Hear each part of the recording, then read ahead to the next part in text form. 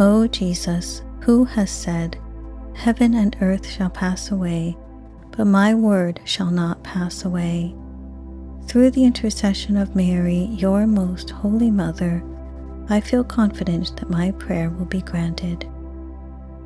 Divine Infant Jesus, I know you love me and would never leave me. I thank you for your close presence in my life.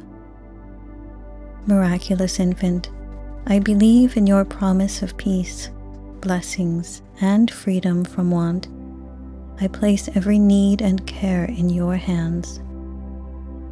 Lord Jesus, may I always trust in your generous mercy and love. I want to honor and praise you now and forever. Amen.